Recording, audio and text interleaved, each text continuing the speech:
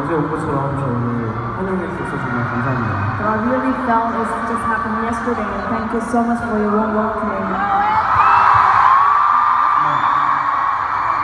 어, 박수 한번 쳐드리고 싶어요. I'd just like to give you a big hand. 땡큐 땡큐.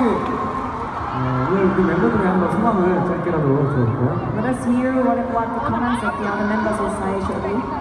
네, 일단은 어, 말레이시아 팬분들이 굉장히 감동을 많이 했습니다. I was just so touched because all of the Malaysian fans.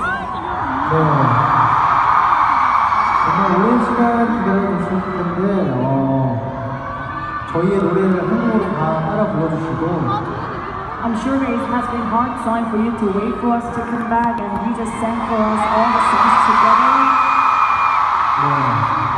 또 저희를 정말 어, 그리워했다, 정말 반갑다라는 표정으로 저희를 어, 계속 봐주셔서 감사합니다. So from the look on your faces, I could feel that how much you have missed us and how much you have welcomed us here.